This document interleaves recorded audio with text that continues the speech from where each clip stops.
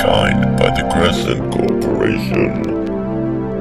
Any and all information contained within this recording is prohibited to people under level 8 clearance.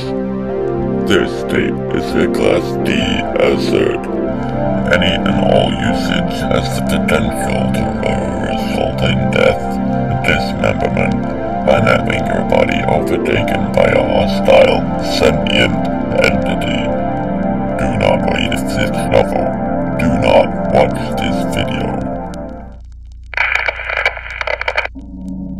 Welcome to Category 1. Good afternoon. My name is Dr. Sylvester Jacobs, and today we're going to be talking about Anomaly 20 5 3 8, otherwise known as the Machine. AN 20 5 3 8 is a machine located under an office building in the city of Reignherd. This machine has been described as sentient and made up of metal components, flesh parts, and other elements that resemble bones of some sort. However, no complete description has ever been given. The anomaly is the centre of its city and its people, creating anomalous websites and apps to entice people on the outside to come visit the city for a holiday. It then takes these people and converts them into residents, faceless extensions of itself that work to improve and progress the machine in size for an unknown reason.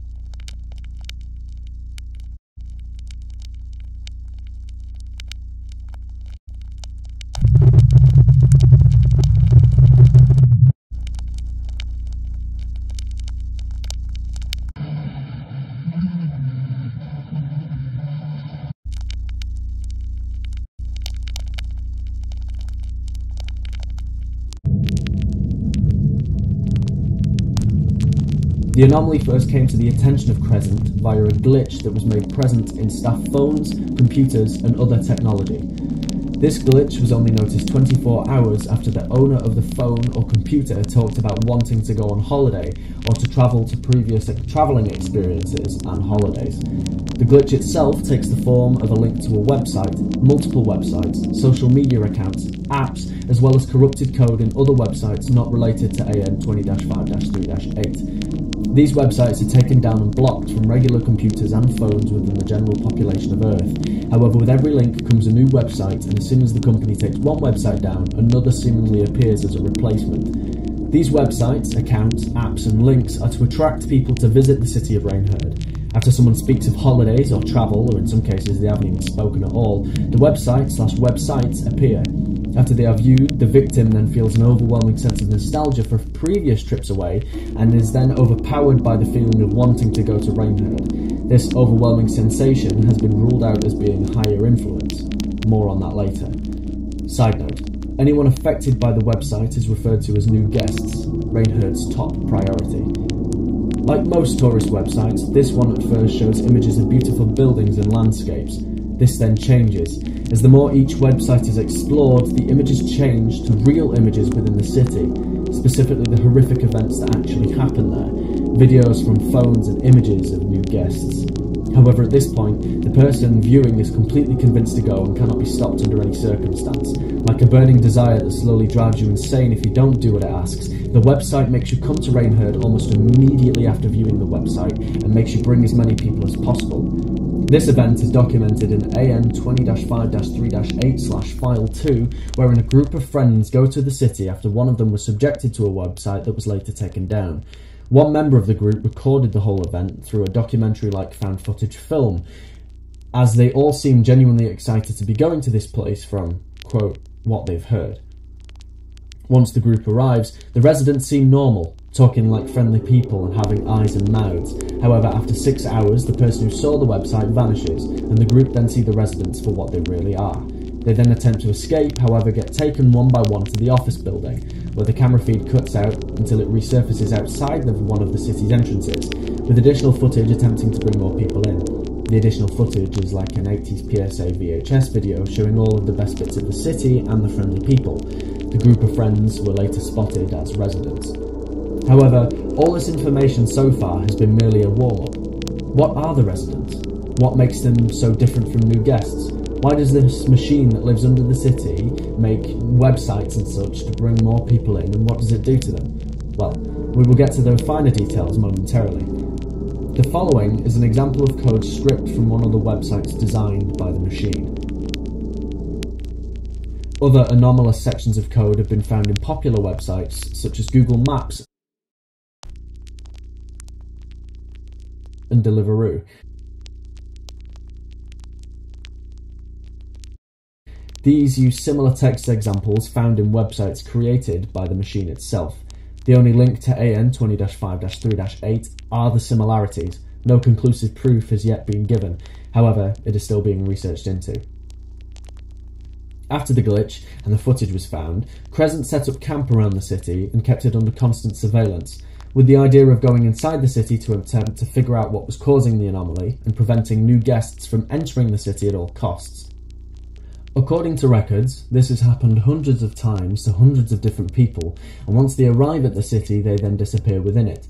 One week later, they are spotted by Crescent as residents of Reignherd and are working like they have been there for years for the machine. The residents, referred to as Dash A, are almost exactly the same as they were when they first entered, wearing the same clothes. However, unlike when they went in, they no longer have a face. Their eyes and mouths vanished, being replaced by skin, the only feature of their face being their noses. Crescent apprehended six of the Dashers and dissected them. Most of their body organs and other functions remain the same as a regular human. However, their blood is brown and laced with motor oil and other unknown substances. Their heart has unknown metal components contained within it, and their brains are augmented with motors and other engine like parts of a machine. More info on the residents later in the document.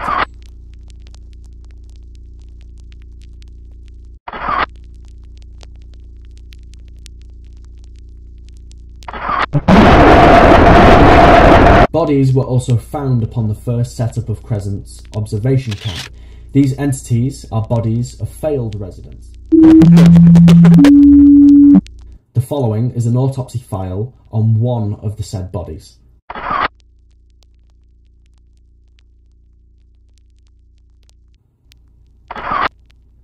It was later revealed that the first 26 new guests failed the process that turned them into residents, leaving them empty otherwise known as husks.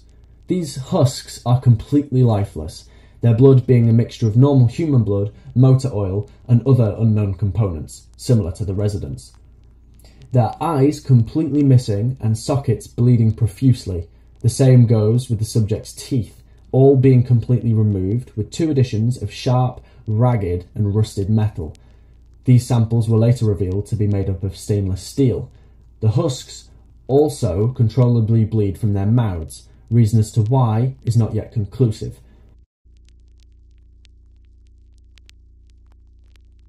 The following is an audio recording taken from an Olympus Pearlcorder S701 microcassette dictaphone. For those not in the know, this specific audio device was released in 1985, holding a microcassette and coming in a variety of colours. The one found on the borders of Reignherd was in mint condition and looked like it had been kept well and looked after since release. Further tests show, however, the recording device was over 20 years old. The following is the recording taken from the device. So, um, if you're listening to this, then, then I'm dead. Well, I, I, I fucking hope not, but I'm, I'm, I'm the last one left. My, my name is Scott Gable. I live in Santry, Markland. Ryan Withers, Alex Nixon, and Jonathan Marks, and they are now dead. Alex said he'd seen this, like, sales thing for this. Faces, they don't have face. It's fucking singing. Oh my god, it's fucking singing. Can you fucking hear it? It's fucking singing. Oh my fucking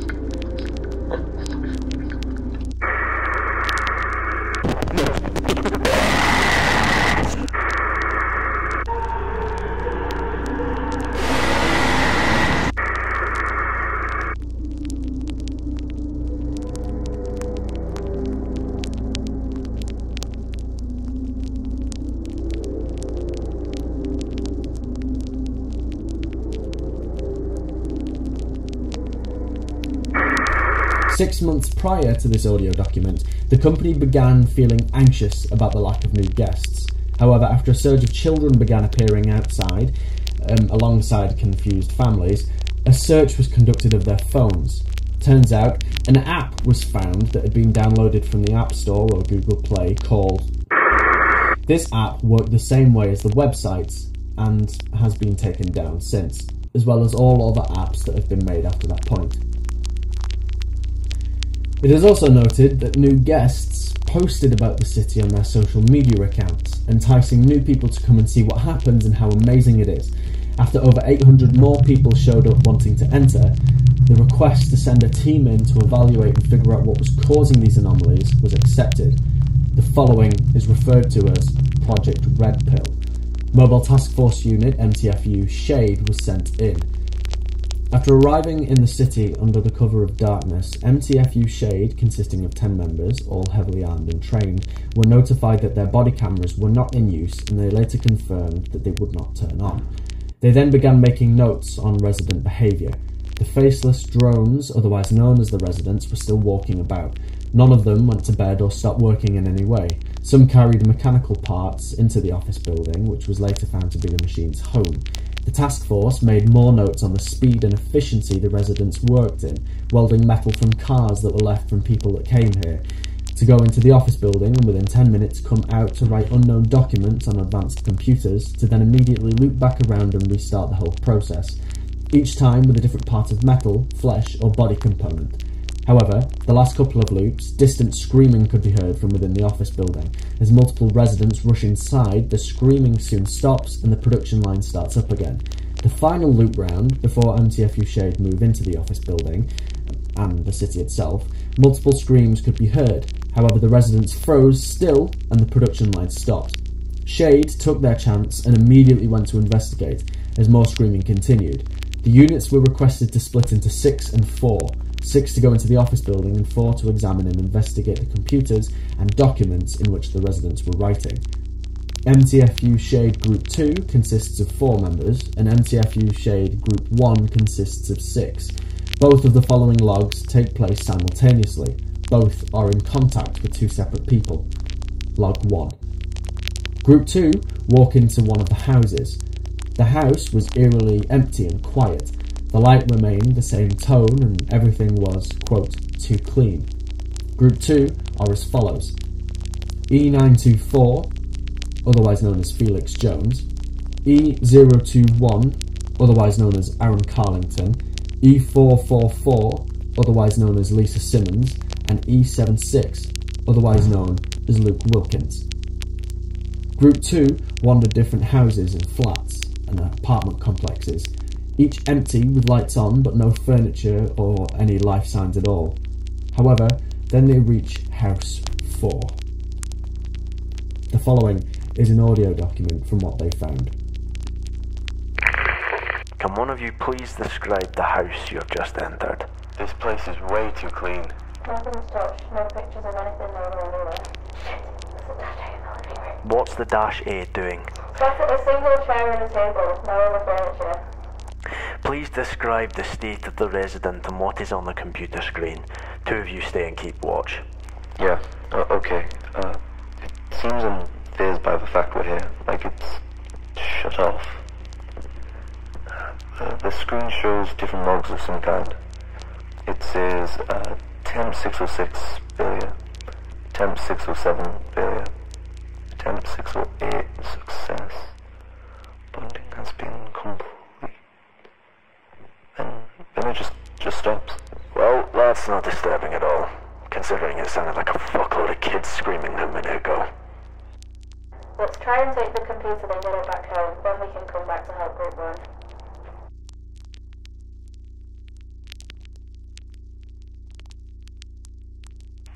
Yeah, I am completely fine with leaving Freakyville for a couple of minutes. I second that strongly.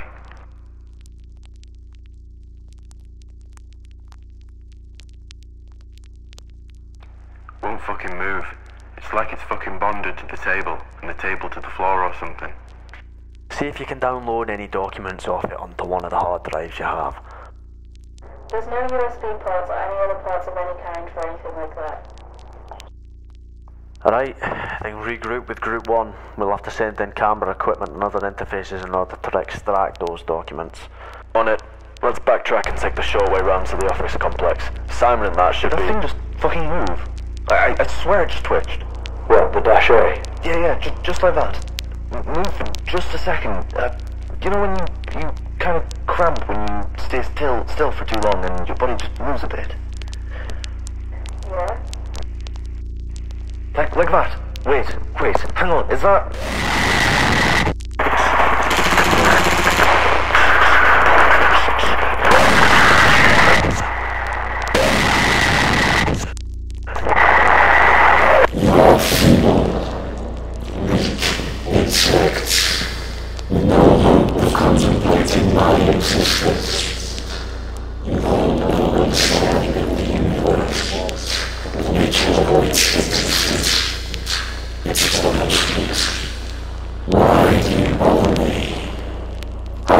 Not the same. I am the better. You are not.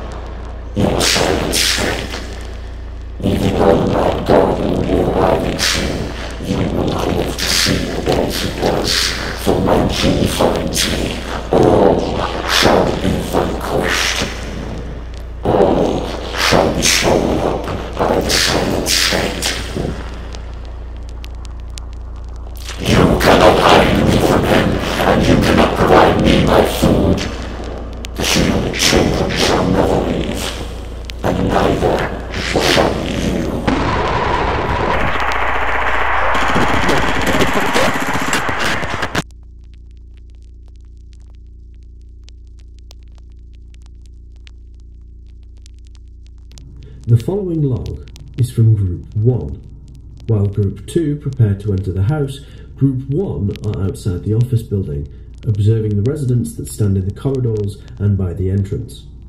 Group 1 consists of E337, otherwise known as Simon Carter, E009, otherwise known as Elise Thornton, E55, otherwise known as Aaron Isaacs, E662, otherwise known as Elizabeth March, E23, otherwise known as Nicole Page Smith, and E998, otherwise known as Rohan Martins. Begin playback. Okay, Group 1, please proceed inside the building. Okay, we're going in. Please, can you uh, describe the office building? It's like school when you're there after it's closed. It's dark, creepy, and I feel like my English teacher is in the ceiling sleeping. That was oddly specific. Yeah, I had very messy childhood.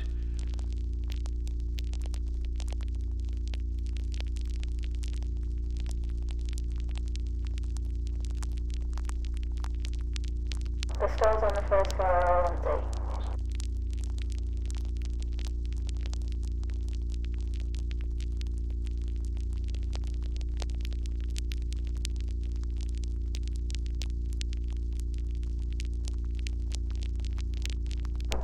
Didn't the say that there's nothing underneath the basement? Yep. So this thing shouldn't be here. Nope. Fucking ace. The fuck was that? Sounded like a child. Probably was a child. Nice. Charming. Fan fucking tastic. So what did you do today, Aaron? Oh, you know, not much. Just went into a city that doesn't exist surrounded by faceless dead people while listening to children screaming. Just an average fucking Monday.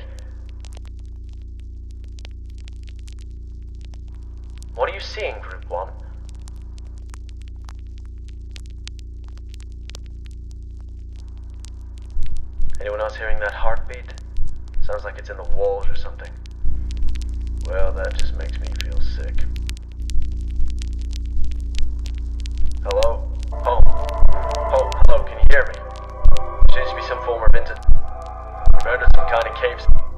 Heartbeat is louder here. Can see the children. Home, we're coming back up. We're bringing 15 children with us. The thing above the abyss doesn't appear to be moving. It. Fuck, it stinks. Aim, I'm prepared to get these kids the fuck out of here. What the actual fuck is this thing? You are feeble, weak insects, with no hope of contemplating my existence. You hold no understanding of the universe, the nature of its existence, its dimensions. Why do you bother me? Our existences are not the same. I am better. You are not. So hungry. Insects!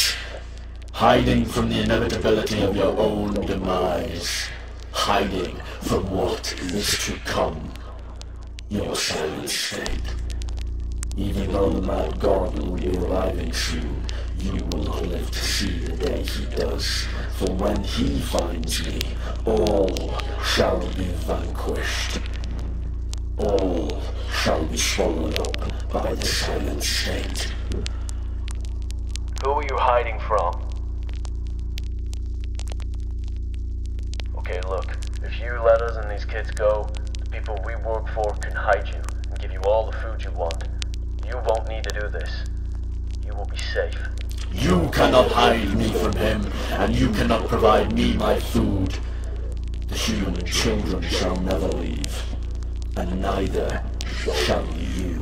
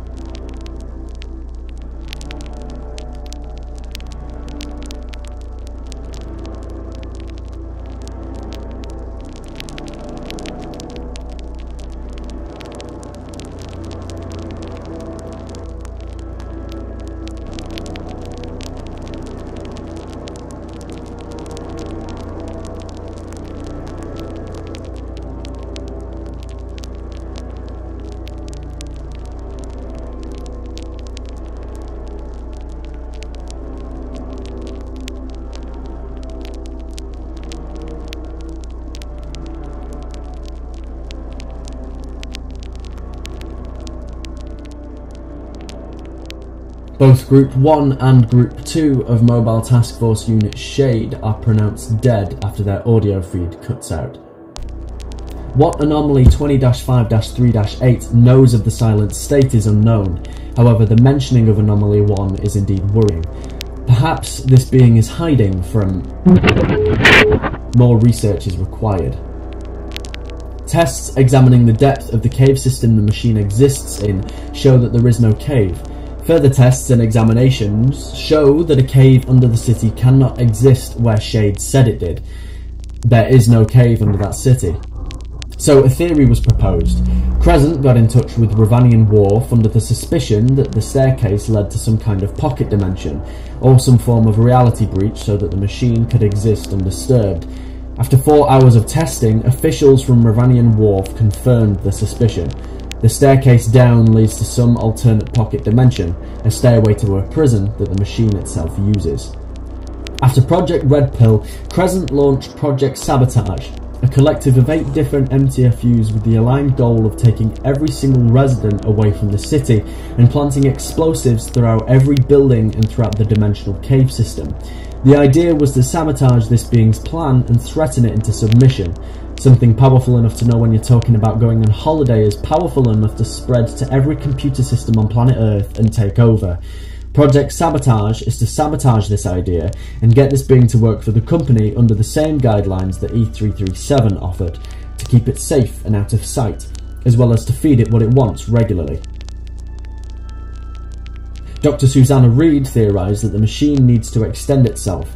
In order for it to not emanate so much power, the more little versions of it there are, the better, because if it is only one form, then it will be found by whoever he is.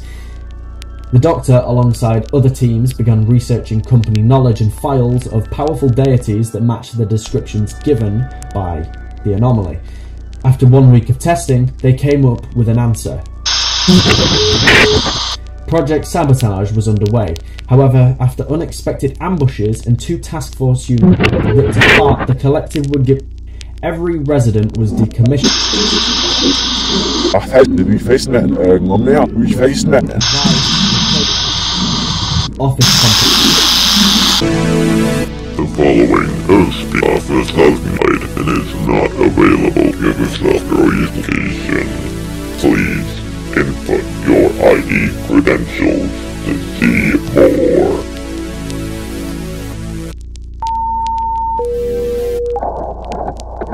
Good evening.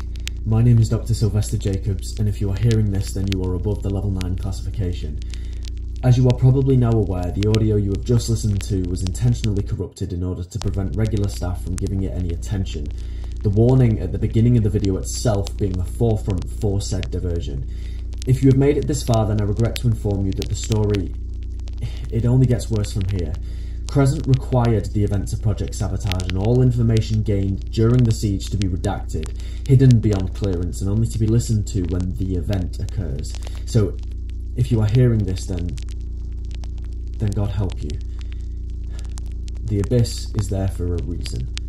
Project Sabotage was a collective of the following eight Mobile Task Force unit groups Mobile Task Force Unit the Death Harbingers, Mobile Task Force Unit the Nightshades, Mobile Task Force Unit Midnight, Mobile Task Force Unit Bleak Horizon, Mobile Task Force Unit the Devil's Pigeon, Mobile Task Force Unit Ironmonger, Mobile Task Force Unit Cache, and Mobile Task Force Unit Impaler.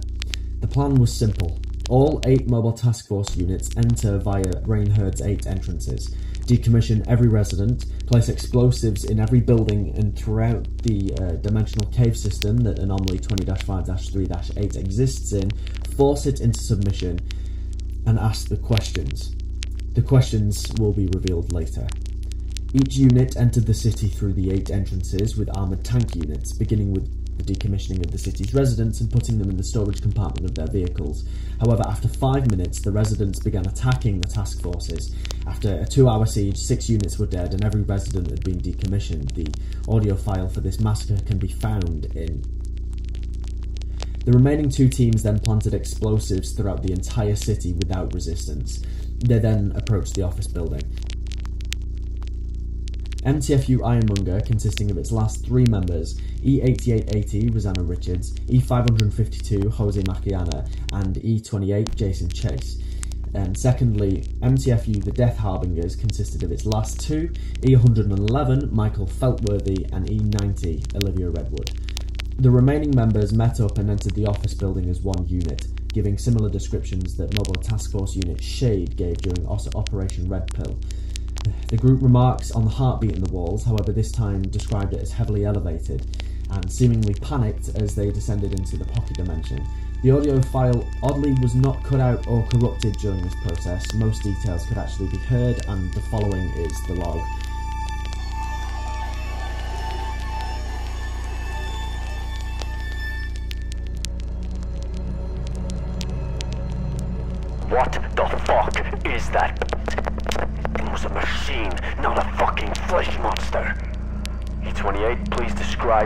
Seeing. Just metal. Brushed flesh and bone, these tendril things going into the roof of the cave. It's, it's above an abyss. It stinks. Any other description? I think it's looking at us. What the fuck? What the fuck? What the fuck? It's okay. Just everyone calm down. I know what you did.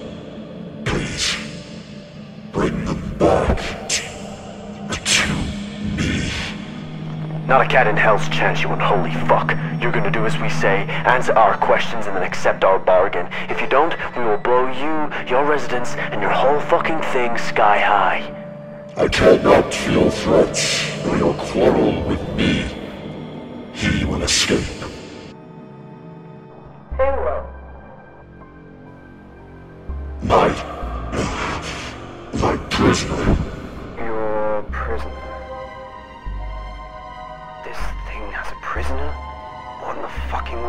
World would require this thing to guard it? Who is your prisoner? Typhon.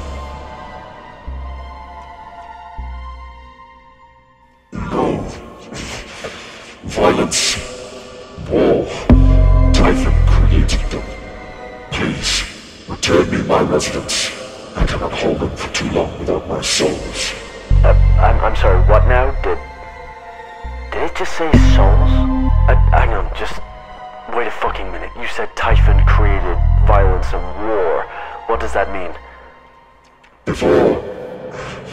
Before existence, there were gods. Typhon was one of those gods. These beings created us, created you, created me and my siblings, created gods to walk among the universes of the multiverse, but there was a war. Typhon was on the wrong side. He fought against good and was punished to imprisonment in the abyss. The Abyss. The, the one right under you. Yes.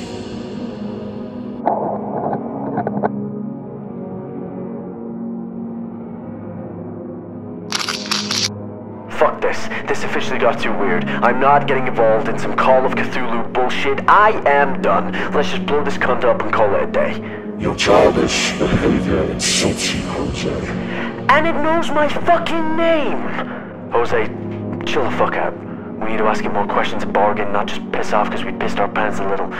Okay, so basically you're guarding a big evil god that created the, the what? The fucking multiverse? Yes, them. Okie fucking dokie, didn't know that existed until now. Fun times. So, what are you then? My name is Akarath. I am one of the Guardian Pantheon created to guard the prisons of the Shadowcast. Uh, I'm sorry, the who? The Shadowcast. The gods before the multiverse. Ah, right. Clearing that one up. Yes. Why do you look like that? Jose! What? It's one of the fucking questions. I fought Typhon when he last escaped. My punishment for letting him do so was to use resources and material to put myself back together after he tore me apart. Okay, okay, okay. Way too much information. Let's just start simple. Why do you need the residence? Hmm? Why the websites? What is so important about people and their souls? The residents feed me, keep me alive and spread me throughout the city above. I am the residents. When humans see my websites, I command them to come here to help me. When they do, my residents feed them to me, and I strip them of their souls. I them open and bestow part of myself onto them. This causes me to lose their faces. The Abyss is not enough to hold Typhon down forever. I need to harness the souls of mortals to link them like chains in order to keep him contained. So you use people to keep some eldritch god in the dark. Exactly. Then what the fuck are the kids for? We know you collect them, so what the fuck are they for? You would not like the answer. Do I look like I give a shit? Human souls are strong. However, adult ones lack the capacity to adapt further as they have reached their limit of age. Child souls, however, hold so much potential for adaptation. So, like human cement bricks together, I use the children's souls to cement the adult ones together to strengthen the bonds holding Typhon. I also consume and absorb their formative brains. You motherfucker! So, Typhon is the one you're hiding from, right? No, Then who is? the one that started it all. The one that caused the war, that used Typhon and his other siblings to try and take over. He is coming, and there will be nothing that this universe can do to stop him. Who? Okay, look, it's clear that this whole fucking thing is a lot fucking bigger than we thought it was, and this is not a fucking job for five people with guns to fuck around with, so we'll give you a chance. The last group of people that worked with us that came here gave you a plan. We hide you from whoever the fuck Genitus is, we feed you what you want, and yeah, I guess that means we give you souls, which makes us just as bad as you. But the explosives, they don't go. Any sign that you try to backstab us, we detonate. Capiche? Detonation of those explosives would be unwise as your universe would be wiped out if Typhon were to escape and set his buildings. Set his buildings, yes of course. Set his siblings free of their prisons. Fine, we will feed you what you want when you want. Crescent, or should I say Sifts, craze for control only takes it so far. You have no impact on me nor my work. Why should I let you keep bothering and observing me? Because if you don't, we will kill you. We will either stun you to sleep or detonate those bombs and bring about the apocalypse, and I'm guessing whoever is above you won't be happy if Typhon escapes, huh? So this is not really a bargain, it's more of a fucking command. Ah, ah. What the fuck? Somebody shoot it!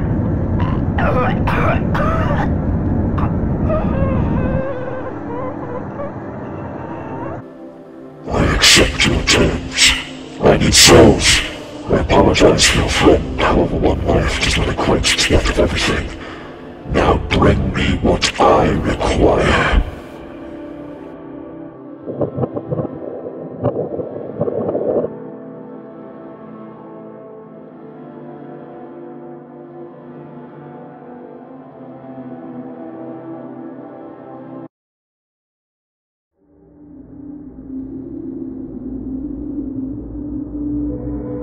Project Sabotage was not exactly a failure.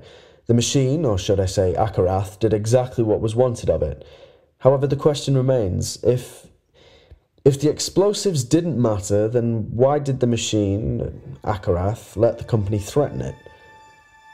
Unless. Unless he knew that that's what the bargain would be. But if he knew that, then that means. That means that he's playing us.